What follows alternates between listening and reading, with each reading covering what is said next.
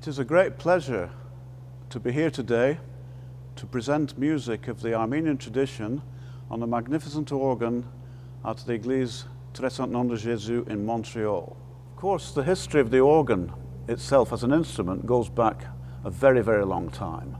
And with it, multiple traditions, different nationalities, uh, different periods. There's the German tradition, obviously, there's the French tradition, the Italian tradition, the English tradition, and there's sort of cross-fertilization between the different traditions.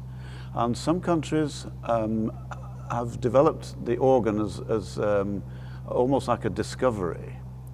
And music has evolved in their um, countries. Um, and also when the Iron Curtain existed, there were composers who were writing for the organ who were behind the Iron Curtain, I think particularly of Petr Eben in the Czech Republic.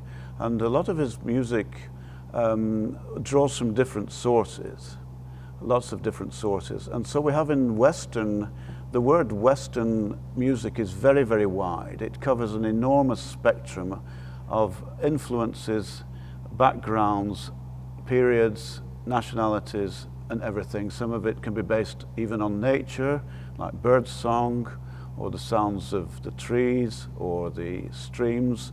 This is reflected by different composers in multiple different ways. And of course, the organ being found mainly in uh, uh, religious buildings, churches, um, in particular, obviously. Um, there's a lot of um, liturgical influence in the music for the organ, uh, different liturgical in, uh, influences. Um, the Jewish tradition even began to use the organ in the 19th century. People like Louis Lewandowski, um, who was, wrote some very interesting music with the, featuring the organ um, in, that was used in the synagogue.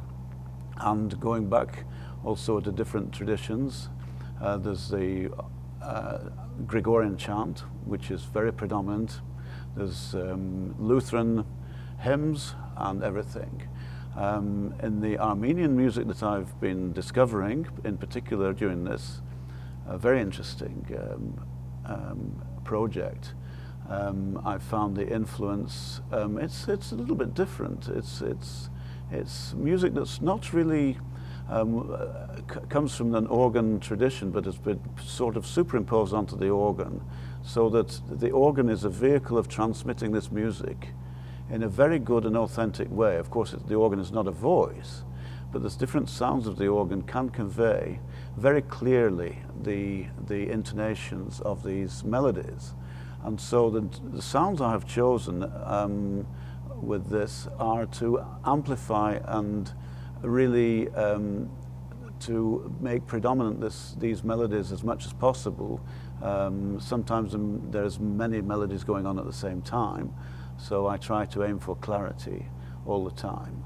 Um, but the influence is still um, detectable of the different um, strands of the melodies throughout the music.